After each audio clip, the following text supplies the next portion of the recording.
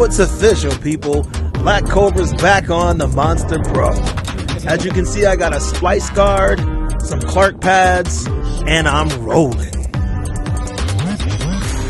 So I have the SplyceGuard and the Clarkpads for the wheel, but you'll also notice that I'm well equipped with the LazyRolling protective gear.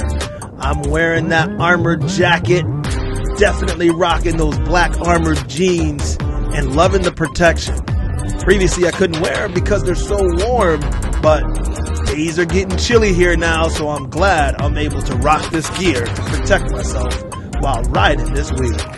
You know, after the crazy fall I had, I'm taking it slow, I'm taking it easy, but I'm bringing you guys along for the ride. This was my first time back on the wheel.